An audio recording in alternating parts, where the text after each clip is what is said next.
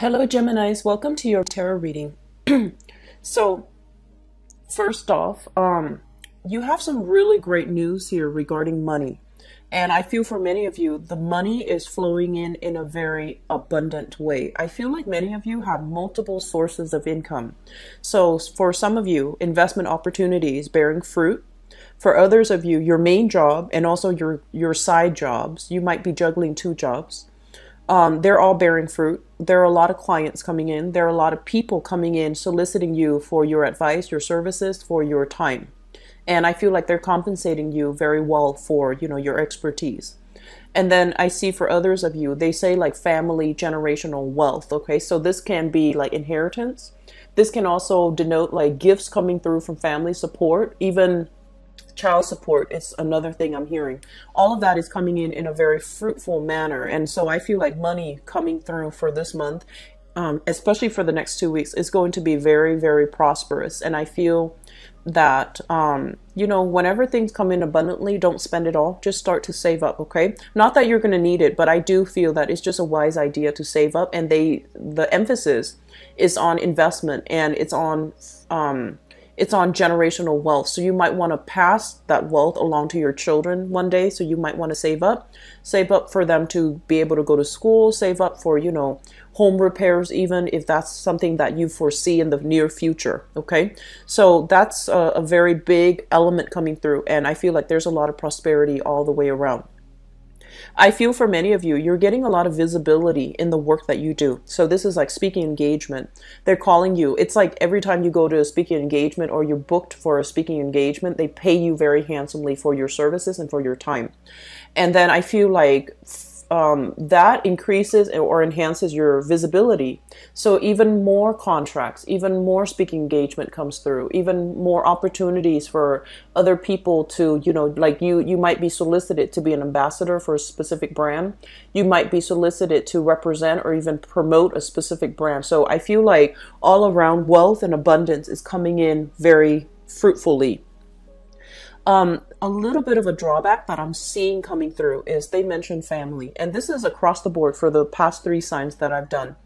Um, I feel for those of you who might be co-parenting with another person, okay, uh, there are issues here. I don't know if there have been children, like if you have children, if they're acting up at school or they're being picked on or they are being uncooperative in a very strict, rigid school setting. So, you know, the, you, you have children that are a little bit more independent, they're intelligent, and they might not agree with the curriculum. They might not thrive in a very rigid home um, schooling environment because they're they're like beyond you know light years beyond their peers.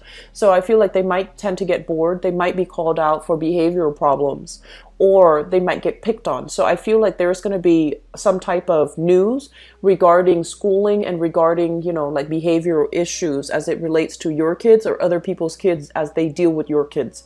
So that's coming through and it's something that I feel you need to, you know, you might need to take some time off work in order to deal with that, or you might need to, you know, be called off work or call in sick just because you have some family issues that you need to take care of. I feel like um, they, they mentioned, you know, children needing a, a very structured lifestyle, a very structured, stable environment and so whatever you can do to curb the traveling, to curb, you know, your own sense of independence so that you can provide that structure for the child, I feel it's going to be a subject that is up for heavy debate between you, the other parent, and also family members. So I do feel they're saying like a village coming together to try to tell you what's the appropriate way to raise a child. And I feel like it's going to um, step on, they're going to step on your toes a little bit, but be patient through this process because I feel like they have some valid points. Okay. Um, I see for many of you a relationship partner here that you might potentially reconnect with or have some dealings with. I'm seeing a fire sign, so Sagittarius, Aries, or Leo. This might be a past relationship partner, or this might be somebody that you've had kind of like a turbulent, tumultuous relationship with. So Sagittarius, Aries, Leos, um, Sun, Moon, or Rising. And this might even be, you know, the father of the child or the mother of the child. And so there's debates, there's discussions, there's communication back and forth, and you're going to have to revisit this, revisit some things with this person. Um, in terms of other relationships, I feel overall you're being shown a lot of love and a lot of appreciation by your relationship partner. I feel for many of you, you're involved here. I see a water sign. So this is a Pisces, Cancer, Scorpio, Sun, Moon, or Rising. They're saying the a water sign from the past. So a water sign you might have dealt with left and then coming back as well into the picture. And I'm also feel, feeling like the two of you, you know, there's a lot of love, but it, it seems like you're seeing things from different perspectives. And there isn't a lot of agreement between you and this person. But I do feel as well that, you know, they there there's mutual friendship, mutual love showing up in the picture. And so if that's something that you feel worth revisiting, that's okay too. Um, in terms of career, I feel like there are a lot of options on the table. I mean, you can go, there are many, many paths that you can take. And I feel for many of you, you're in a job right now, a regular nine to five job, and you feel like, how long can I do this? How, how long before it gets, you know, mundane and boring? What's my next step? So you're you you might have recently started something and you're just like i don't know if this is something i want to do for the rest of my life. So it's more like you know reality and expectations. You expect it to be like lifelong and fulfilling but i feel like as soon as you start it you realize uh, it's kind of draining and I'm not really sure how long I can do that for, or I'm not really sure if I'm 100% invested in it. So I feel like you're already looking at greener pastures. You're looking for a source of financial stability. Okay, so I feel like the money comes comes in a lot, but I, I feel like it's not something that you want to do long term. So you're trying to figure out is there something else? Is there something more worthwhile? Is there something more, a little bit more consistent? So in the past, I feel like many of you, you know, you like to collect new experiences, but moving in, uh, and it might have been, you know, that eclipse energy from last month where you're starting to feel like life needs to be a little bit more ter- um, like permanent. I can't roll around and just tumble around anymore. I need to set down roots. I need to have something a little bit more concrete and stable.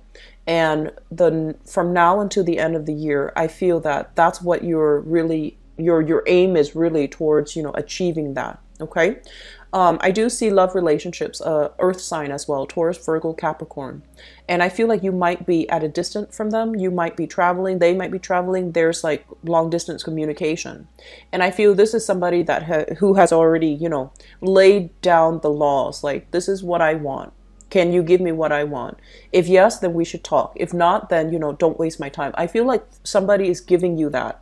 And I feel a very heavy earth sign, Taurus, Virgo, Capricorn, Sun, Moon, or Rising.